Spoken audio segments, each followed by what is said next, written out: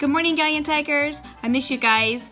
I thought I would challenge your family today with a would you rather question. Would you rather have a car that flies or can travel underwater? And why? Remember to stay safe and healthy and wash your hands. Hope to see you soon. Hi guys, Mrs. Johnson here. I have an awesome trick for you that I learned from my dad. I have a stack of eight quarters right here. I'm going to put them on my elbow and make them go to my hand. Let's see if you can try it too. Ready?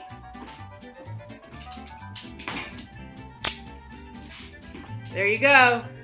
All eight quarters. Hi kids, this is Mrs. Earlston, and I'm going to show you a project that my own children have been working on while we've been stuck at home. They used their problem solving skills to build a large fort. Uh, they used sheets, clothespins, and a canopy. You would not need to use a canopy, you could just use whatever you have around your house. We're kind of lucky it's in our basement so it's out of the way, but possibly you could do this in your bedrooms. So we're gonna start with the driveway. So we're walking down the driveway and now here is the front door. Now we're in the mudroom. And now if you can see, these are our walls and our ceiling. This area here is where my family gathers every night while we're stuck here and we pick out a family movie to watch on our TV, which is right over here. So I hope you've enjoyed your tour and I hope some of you become inspired to try something like this at your own homes. Stay healthy. We miss you. Hi Galion Tigers, this is Ms. Ryder and Maddox. We're here to show you a math number game. So this game is called Top It, and all you need is a deck of cards in front of you. Now I went ahead and took out the Jack, Queen, and Kings, but you could use those and give each of those a different value if you'd like.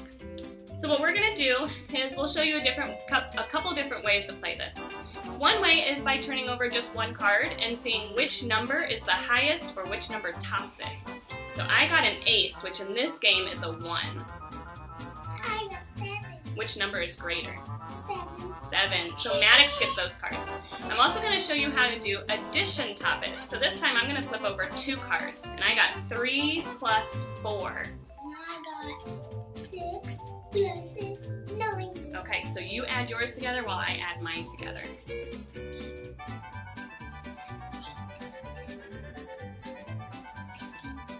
Okay, so you got 6 plus 9 equals Fifteen. 15, and I got 3 plus 4 equals 7.